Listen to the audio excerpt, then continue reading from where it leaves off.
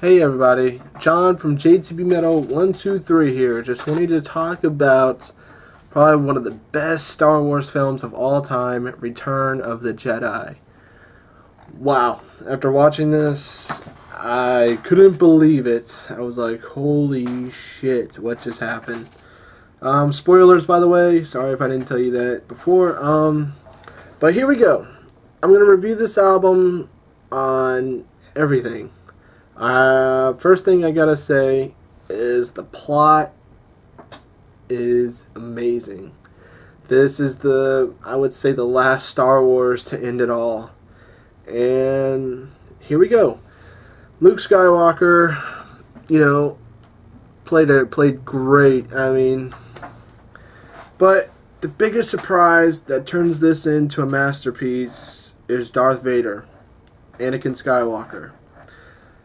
At the ending, when he takes off his mask, and you know Luke Skywalker is there looking at him, and knowing that that's his father, um, I just thought that was really cool. He took off his mask and he showed the good side of Darth Vader.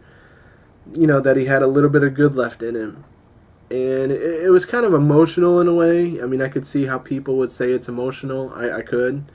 Um, but yeah, I was like, wow, this is so cool. And no one knew what he looked like, you know, until, you know, the prequels. But, um, I, I just, I couldn't believe how this ended so well and so just fantastic of a story this was it's just amazing. Um, they ended up destroying, you know, all the Imperial forces and the, you know, the shield generator. It was just really well performed how this story came out to be. And you know, the cast was just uh, Harrison Ford as Han Solo was great. You know, Luke Skywalker as Mark Hamill. You know, Carrie Fisher. I mean, she she's been Princess Leia throughout all of them except for the you know the uh, newer ones, but I just this film is a complete 10 because of that. It was choreographed so well. The technology was, considering the time, it, it's so great, so well.